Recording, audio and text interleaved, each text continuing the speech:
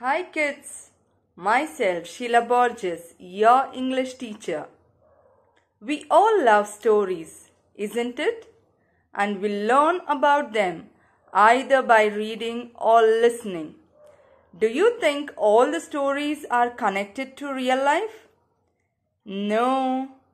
Stories can be categorized into two, and they are real and imaginary.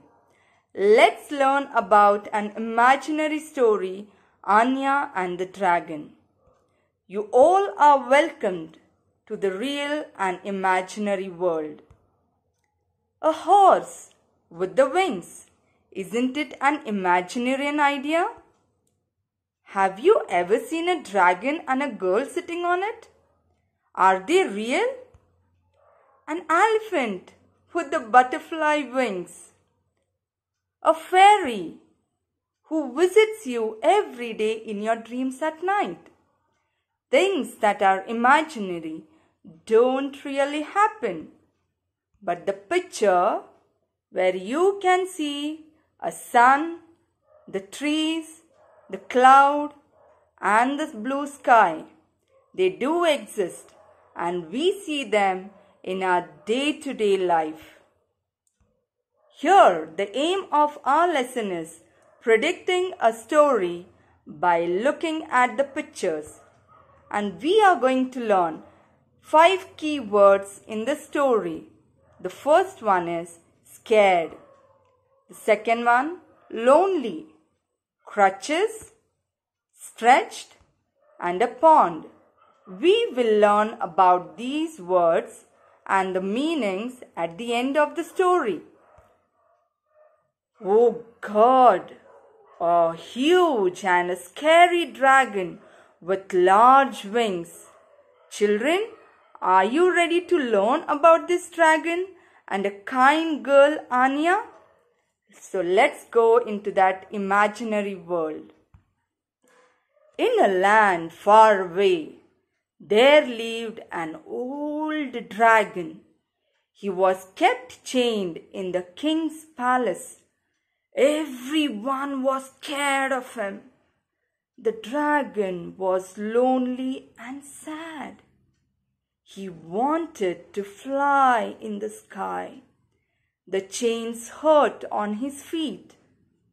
But what he could do?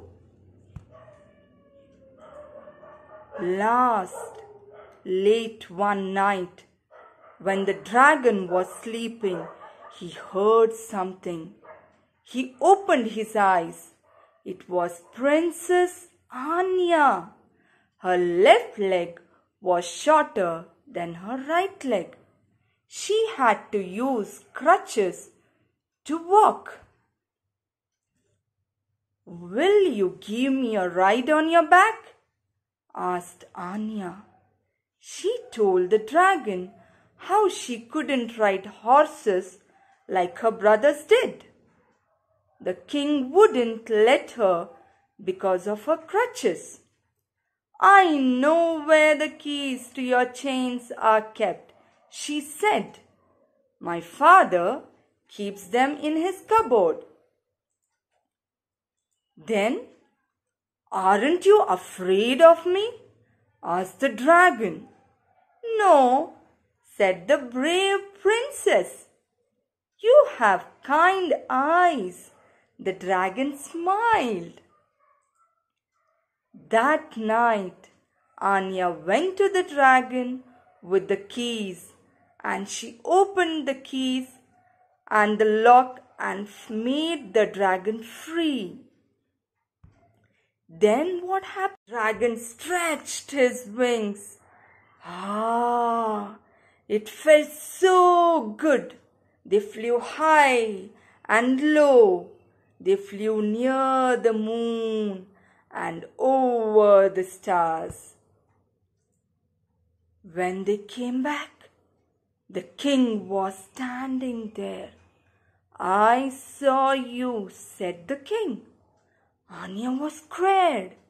So was the dragon. Then, but the king smiled I have never seen you so happy, Anya. he said, From now on, you can ride the dragon. Anya and the dragon were very happy listening to it. He took the keys from Anya and threw them in the pond. The dragon smiled. He was free at last and he had a very kind friend and that was Anya. The key words what we are going to learn today and the meanings of that key words are scared which means to be afraid of.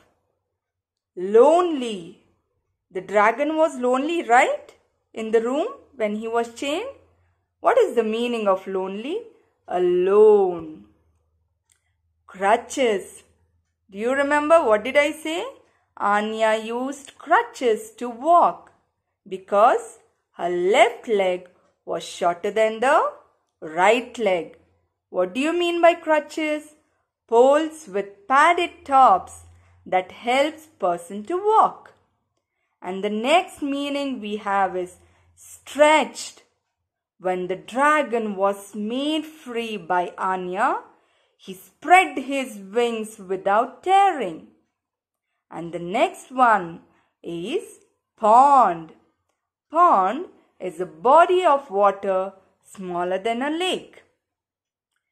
Today, students, we have learned how kind Anya was to the dragon. She freed the dragon from the chains and she was also a brave girl.